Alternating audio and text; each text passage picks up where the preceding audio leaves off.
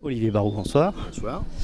Alors, euh, on va rentrer direct dans le, dans le vif du sujet. Donc, le scénario de l'italien, euh, à la base, donc, euh, on vous l'a proposé. C'est Nicolas Boukrieff qui vous l'a proposé. Donc, c'était apparemment quelque chose de plus dramatique. Et donc, vous en avez fait une comédie sociale. Dans quelle mesure ça a été. euh, qu'est-ce, que, vous avez modifié déjà dans le, scénario de base Et est-ce que ça a été difficile de faire d'un sujet assez épineux, quand même, une, une comédie au final? Non, ça n'a pas été compliqué parce que nous, euh, on a utilisé le langage qu'on connaît, c'est le langage de la comédie. Donc on a gardé euh, du scénario très original de Nicolas et Eric Bénard. Nicolas Boukrieff et Eric Bénard, on a gardé la double identité, Dino Fabrizi, Mourad Ben Saoud, et le déclencheur qui est euh, Dino qui est obligé de faire le ramadan à, la place de son papa. On a gardé ça uniquement. Et après, on s'est attelé à faire, euh, en tout cas dans la première heure, une, vraie comédie qui, euh, qui joue avec tous les codes de la comédie, les quiproquos, le comique de situation, avec le ramadan. Parce que ça, on n'avait jamais vu encore en France. Et on s'est dit, on va, le faire naturellement, on va pas se poser de questions, on va pas être plus respectueux ou faire plus attention. On va rire avec ça, le fait de d'être obligé de, bah, de ne pas manger ni boire pendant le- du lever au coucher du soleil, euh, interdiction de faire l'amour à sa femme si on n'est pas marié, enfin tous les codes qui vont avec le- le- les codes du, Coran, de l'islam. Et puis après, on s'est dit quand même, euh, enfin, je me suis dit qu'il fallait quand même traiter un peu sérieusement le sujet de la discrimination, de l'intégration, de la double culture. Et donc on a pensé le film en, deux parties. La dernière partie étant plus, euh, plus émouvante, plus, plus attachante. Et euh, c'est cette partie qui est censée faire un peu réfléchir les gens et en tout cas provoquer le débat. Puisque notre prétention c'était de provoquer le débat, certainement pas de donner de leçons. Euh, c'est un, fi- un film un petit, un petit peu hybride. euh, vous avez réussi à, à trouver ce- cet équilibre. Euh, dans le rôle de, de, de, de- de Dino, euh, j'imagine que Cadmerad, ça a été un choix évident. ou Vous avez quand même d'autres personnes en tête à, à la base? D'autres, acteurs auraient pu jouer Dino, je veux dire, Cad n'était pas le seul à pouvoir le jouer, mais là, pour le coup, il y avait une vraie résonance, euh, puisque moi, dans les conversations que j'ai pu avoir avec Cad pendant 20 ans, euh, 20 ans d'amitié, évidemment, il m'a parlé de son papa, on en a beaucoup parlé dans la presse, et c'est pas un argument marketing pour nous, mais c'est vrai que ça a été le, le- le- le- le déclencheur de cette histoire, le papa de Cad qui a, changé de prénom, euh, qui a pris un prénom français en arrivant en France, ça a tout de suite dit, voilà, on est en plein dans le cœur du sujet, donc ça a renforcé l'envie de Cad de faire ce film, et lorsque je lui ai proposé, il m'a dit oui tout de suite.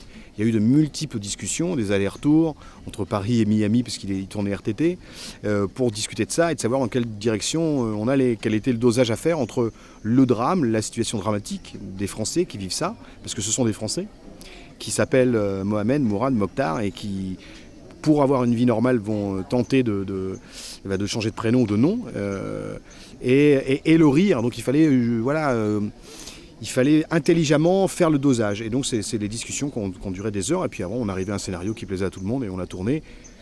Et après, il y a la magie du montage qui fait qu'on a encore remis une couche euh, et qu'on a, eu- qu'on a eu cette option de, de- de- de 40 minutes de fin qui ne sont pas forcément très drôles. voilà. Et au niveau même du reste du casting, c'est vrai que vous entourez beaucoup de la même famille euh, d'acteurs. C'est important pour vous? Très très important d'avoir euh, des bons camarades, des bons, alors déjà des bons acteurs, ça c'est la base. Et après de savoir qu'on va être avec une troupe euh, qui va vous suivre, qui va vous faire confiance, qui va euh, avoir envie de jouer avec les autres, qui s'entendent bien entre eux, c'est important. hein. Il faut faire un, c'est comme un, un menu un peu. Il faut euh, bien choisir les ingrédients pour que tout ça euh, soit harmonisé. Sinon, vous risquez d'avoir des, petits problèmes d'ego, euh, ce qui arrive souvent dans le cinéma, puisque les acteurs et actrices ont un ego, comme les réalisateurs d'ailleurs, surdimensionné. Mais voilà, en sachant qu'on est tous dans qu'on va tous dans la même direction, ça s'est très bien passé, quoi. Avec des nouveaux arrivants comme Roland Giraud, euh, Sid Ahmed Agoumi, Safia Azedine, c'était son premier film, la sœur de Kat dans le film. Et puis euh, Guy Lecluise qui était dans Safari, Valérie qui était dans Safari, euh, voilà. euh, et Guillaume Gallienne à nouveau aussi, voilà, et qui, et qui- qui- qui- ils ont tous compris où on voulait en venir, donc euh, c'était super. Et justement, j'allais vous demander par rapport à Roland Giraud aussi, comment il s'est retrouvé là. C'est vrai que ça faisait longtemps qu'on ne l'ait pas vu. Ça fait plaisir de, de le revoir. Et comment vous l'avez choisi? Parce que je suis très fan en fait. hein. Vous savez, moi je suis plus impressionné. J'ai j'ai eu la chance euh, de rencontrer euh, l'année dernière Brad Pitt. Ça ne m'a absolument rien fait. Non mais je vous le dis. hein. Voilà, j'ai rencontré Brad Pitt, Angelina Jolie. Je leur ai posé des questions pour le- les Oscars de Canal.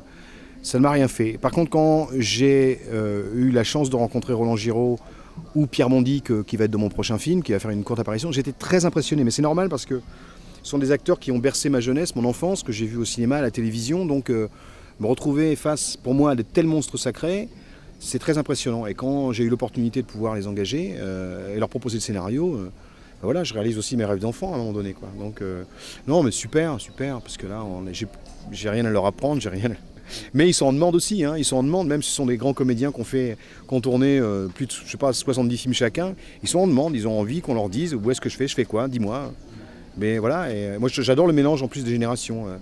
Des, des jeunes acteurs, des acteurs plus confirmés, puis des, acteurs qui ont déjà une grosse carrière, une longue carrière derrière eux, je trouve ça génial.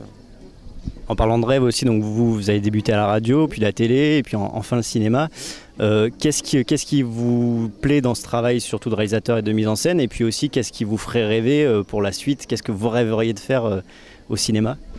Mais c'est, la totalité du travail de, cinéaste en fait. Hein. C'est que vous avez la chance d'être.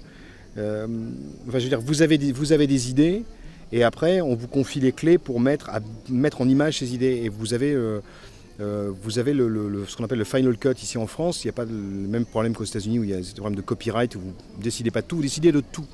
Donc vous êtes responsable de tout. Et moi j'aime bien euh, ce challenge à chaque fois de, réussir à raconter une histoire qui est sur qui est 90 pages de papier et il faut les transformer sur de la pellicule. Je trouve ça euh, génial. Puis moi j'ai toujours aimé créer, avoir des idées, imaginer. donc je suis comblé à chaque fois. Et après les rêves. Bah, les rêves, ça serait éventuellement de pouvoir faire un peu tous les films que j'ai envie de faire qui sont qui sont pas forcément inscrits dans un plan de carrière ou dans une, une cohérence éditoriale. C'est-à-dire euh, euh, en France, c'est très problématique lorsqu'on passe du coq à l'âne. Euh, voilà, et même là déjà les gens sont étonnés que je passe de Safari à l'italien, alors que moi ça m'étonne pas du tout. Et, et demain je vais faire une autre comédie qui, qui, qui, est une grosse comédie populaire sur l'argent, sur sur l'intégration, euh, enfin sur Monaco, sur tout ça. Et après, je ferai encore une autre comédie, et après peut-être un film encore différent. Euh. et euh, moi j'aimerais bien, voilà, le, mon rêve c'est qu'on ait, que, en tout cas la, presse bien pensante, on va dire, nous laisse, mais en même temps ils nous laissent, ils n'ont pas le choix, mais comprennent, comprennent que lorsqu'on fait du cinéma, on a envie de, de, toucher à tous les genres, de rencontrer tous les comédiens et de, et de faire du cinéma tout simplement, quoi. Et pas forcément avoir de, de cohérence éditorial en se disant euh, bah, c'est un spécialiste du film d'action, c'est un spécialiste du film dramatique, c'est un film d'auteur. Non, moi je crois pas à ça. Je crois d'ailleurs que le public s'y trompe pas parce que ne recherche pas forcément ça. C'est d'abord l'histoire, hein. même pas le casting, c'est l'histoire qu'on va leur raconter. Et vos futurs projets, on a beaucoup entendu parler de qui a, qui a retué Pamela Rose. Oui, oui ça c'est l'été prochain avec CAD. On va co-réaliser tous les deux et on, a co-écrit avec Julien Rapneau euh, qui a retué Pamela Rose, qu'on va tourner. Euh, juin, juillet, août au Canada et à Paris. Et avant, là, je tourne à partir du 16 août un film qui s'appelle Les Tuches avec euh, Jean-Paul Roux, Isabelle Nanty. C'est l'histoire de histoire vraie de Français euh, très simples, très précaires, qui ont gagné 100 millions d'euros au loto et qui ont décidé d'aller vivre à Monaco. Donc c'est une très belle comédie avec plein d'acteurs inconnus. Donc je suis très content aussi de faire découvrir des, nouvelles têtes au cinéma. Et, et, donc voilà Pamela Rose. Et puis après encore un autre film, c'est trop tôt pour en parler.